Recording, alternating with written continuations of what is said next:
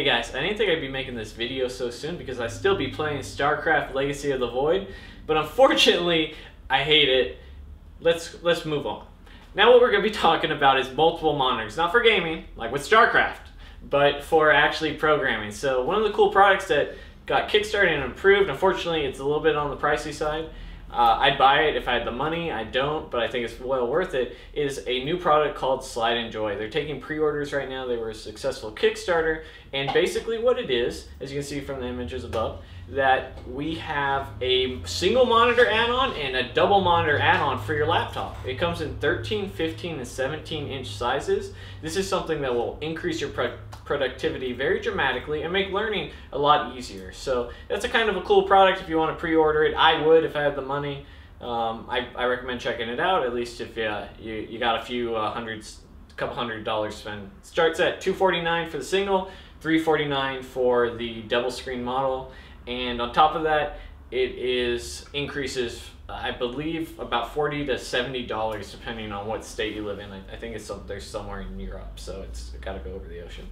But let's talk about having multiple monitors. I currently use two monitors for programming.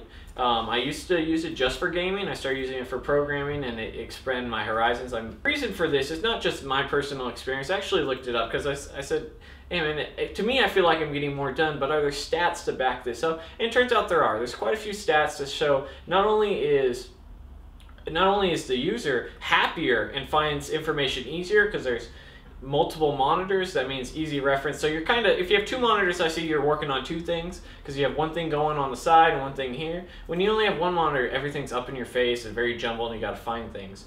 And because of that the task you did get done per minute actually drops. So let's say something normally took you 18 minutes. I believe in the example i said okay it's going to take you 15 and a half so not only does your pro productivity go up, but it's also easier to learn with multiple monitors because when you're learning something, a lot of the times what we're doing is we're referencing that. We're trying to copy that. We're trying to say, okay, this is what this array method does. Let me look at it and try to emulate it in my program here and get better. So that's kind of my little uh, tip and trick and check out the Sliden'Joy. I think it's really cool.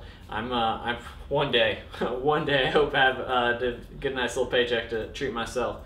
But uh, as always, guys, questions, comments, concerns, all that sort of stuff, and topics are appreciated. I'll see you guys in the next video.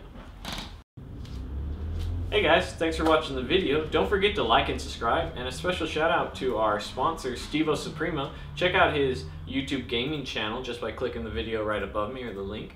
And I'll see you guys in the next video.